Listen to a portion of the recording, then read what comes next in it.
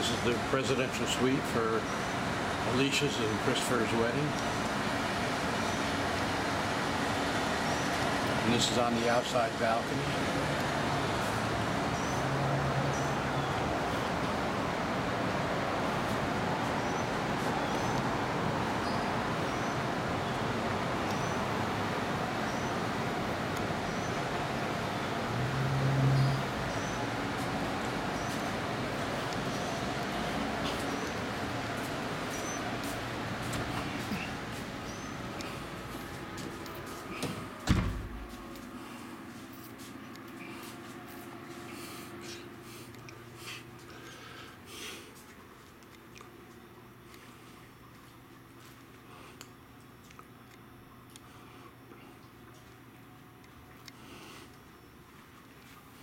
You closed the door, right?